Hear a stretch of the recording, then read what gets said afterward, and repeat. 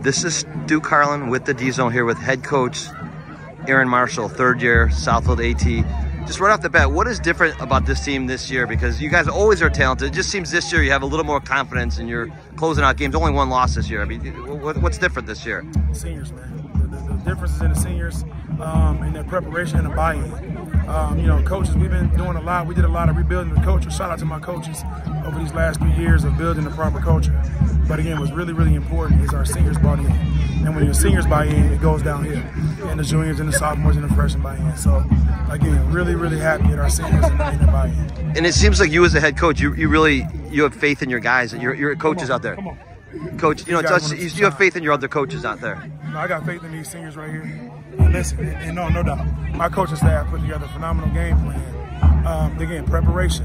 But the game plan is nothing if they don't buy in and execute. So they executed for the most part today more than they did, which got us to win. What What was the reason they got back in the game though? I mean, West Bloomfield, you guys were handing you know handing it to them pretty good, and then they got back in this game. And they're a great football team.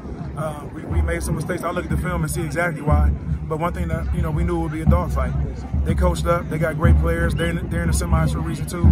So yeah. them getting back in the game. You, you knew they were. You knew they were going to come. Yeah. I knew they were going to come at some point. And talk about what a team effort it took to win this game, though, because you you know all your guys did their thing, but it, it took a huge team effort by, by all around to win this. No doubt, 100%. Special teams, offense, defense.